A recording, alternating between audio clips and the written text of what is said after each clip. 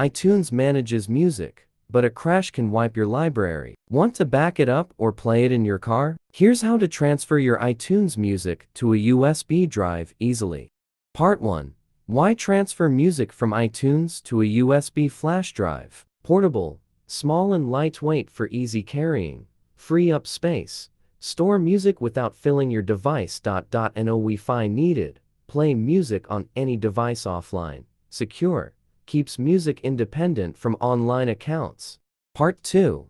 Transfer music from iTunes to flash drive directly. Open iTunes and go to your music library. Insert a flash drive and open its folder.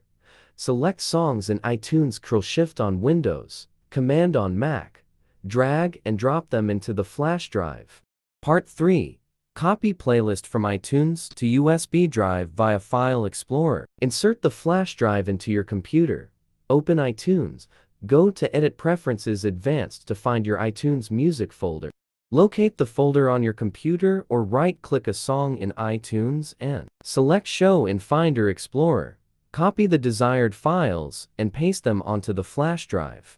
Bonus. Transfer music from iPhone to USB with Assistant for iOS iTunes can be tricky, especially on Windows. A simpler way is using Mobikin Assistant for iOS to export iTunes playlists from iPhone to a USB drive.